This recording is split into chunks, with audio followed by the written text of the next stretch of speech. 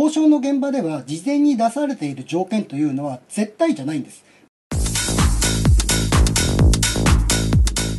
えテレビだけを見ていると死んじゃうかもしれない時代になったよ。とですね、この番組では何度か指摘してきました。えこのニュースも死んじゃうよ本案件かなと思うのが、日本時間9月27日未明、ニューヨークでですね、合意に至りました日米貿易協定 TAG。これをめぐるテレビ報道が実にひどい。もうとにかく安倍のバーカとトランプのバーカって言いたいものですから、現状を正しく伝えていない。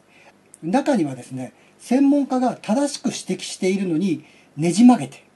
ねじ曲げて自分の思い込み願望、つまりは安倍のバーカバーカバーカというためだけに意味を変えて、別件持ってきて、そして視聴者の不安を煽っている。それが今のワイドショーであり、ニュース、すなわちテレビです。合意に至った翌朝の9月28日、テレビ朝日グッドモーニング。グッドモーニングではですね、解説者が今回の日米貿易協定については事実上の FTA である。そしてこれは追い込まれてから結ばざるを得なかったというのは二国間協定だと日米の力関係がありすぎて日本に不利になる。だから FTA を避けたかったのに結局 FTA になっちゃった。そして言うにこと書いてこんなこと言うんですよ。だからもっと早く交渉すべきだった。早くても遅くても二国間交渉は二国間交渉なんですよ。で、これマーケット関係者とか国際情勢とかの詳しい専門家に言わせるとなかなかベストのタイミングだったという見立てが多い。えというのも中国とのね貿易戦争が今起こってますよね。さらにカナダとの交渉も今うまくいってないんですよ。でそのタイミングで日本に対してまでトランプさんがぶち上げたように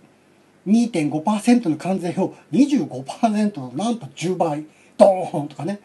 こんなことをやったらアメリカが完全孤立する状態になってしまうもちろんアメリカって国はですね一国で原油も取れればガスも取れて穀物取れちゃってでアップルあってアマゾンあってマイクロソフトあってフェイスブックあってツイッターあって。その経済合理性とかさえ一切無視すれば一国でやっていけちゃう国なんですよ。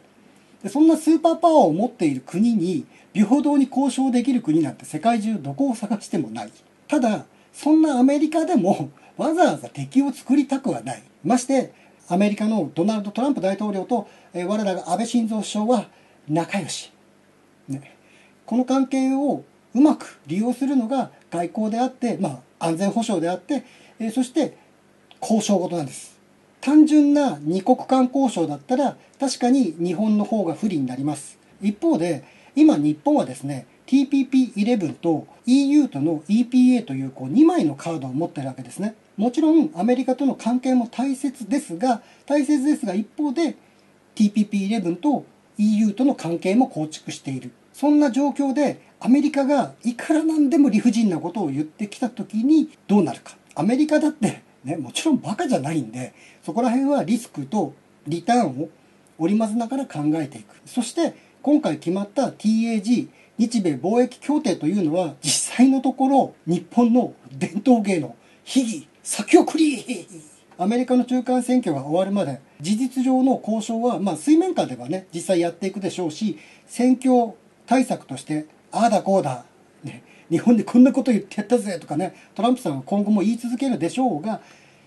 事実上先送りができたことはですね実に大きいわけですよ。えそしてそれが証拠にアメリカが政策金利を上げたっていうことでですねドル高円安になったということもありますが何よりも日米間の貿易摩擦がですね当面なくなったことによってそれを安心した株式市場は9月28日2万4000円の大台を回復。今年一番の高値を記録しています、まあ、テレビコメンテーターとか評論家のようにですね未銭を切ってない人たちは、え局の方針なり、え番組の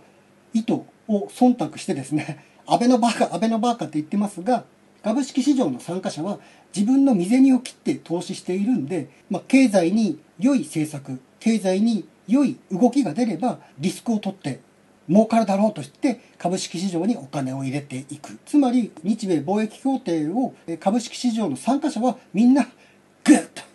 言っているということ。まあ、もちろん今後の交渉次第でどうなるかはわからないというのは確か。確かなんですが、そのわからないことに対して、ダメだダメだダメだ安倍は失敗したとか言ってるのもおかしな話。だって、まだわからないんですから。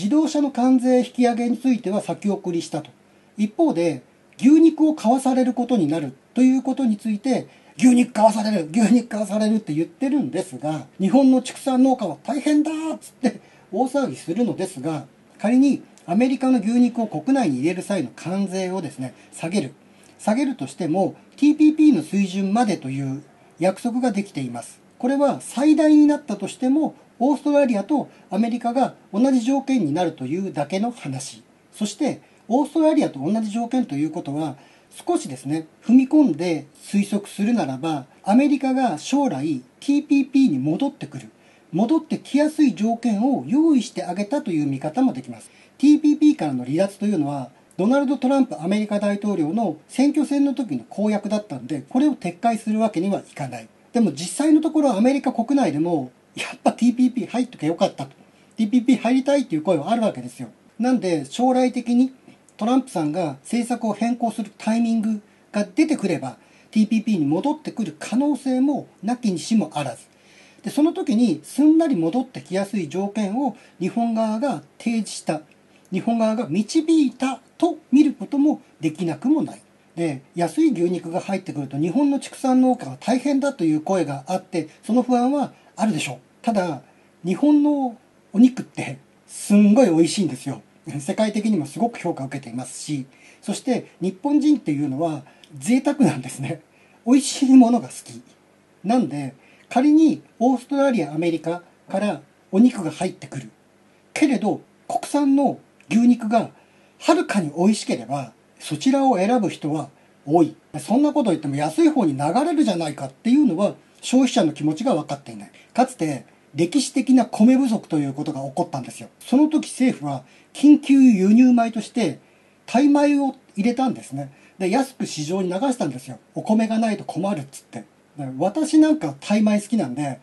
珍しいお米が安く買えるっつって喜んだんですけれど多くの日本人は普通の国産のお米が食べたいっていうんで多少高くても国産のお米を食べたんですね。もちろんオージービーフが美味しくないとかアメリカンビーフが美味しくないとかいうつもりはないです。けれどこれらのお肉より美味しいお肉を国産の畜産業者が作れば国内でも売れますし何より海外で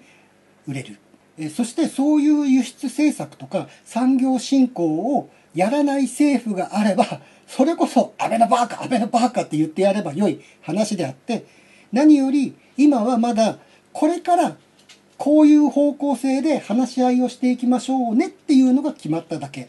ところがこの GAT に対して結局アメリカ主導で決まってしまった。いやだから決まってないっていう。これからこの方向性で話し合いましょうねというのが決まっただけ。だからテレビコメンテーターにしろ、ジャーナリストとか言ってる人たちでも多分ビジネスの現場で取引、交渉をしたことがないんでしょうね。交渉の現場では事前に出されている条件というのは絶対じゃないんです。まずそこが叩き台になってその上でこちらに有利になるのかあちらに引きずられてしまうのか。ここが駆け引き。ところがテレビというのは安倍のバーカについては無条件で批判のつぶてを投げる。つぶてというのはこう石ころですね。全力で「あっあっあっ」と投げている。その結果テレビを見ている視聴者を不安にさせる。怯えさせる。これね人間の心理で面白いもんで脅されたりビビってる時の方がその脅したりビビってる対象の対象に対して注意がいくんですね。昨日この番組で不安なことを言ってた。あ今日もなんか怖いこと言ってないかなってチャンネルを合わせてしまう。テレビのワイドショーそして今やニュース番組もこうした視聴者の恐怖を煽る作りになっている。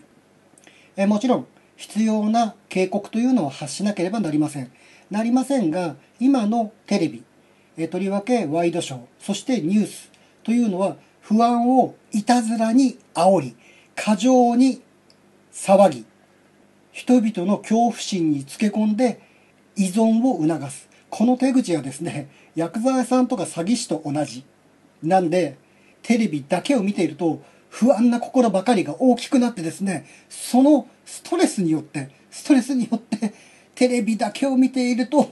死んじゃうよーんという時代になった。えそんな気がする今日この頃でございました。えご視聴いただきありがとうございます。えまたの機会もお付き合いいただければ幸いでございます。今回も最後にワンコのコーナーでお別れです。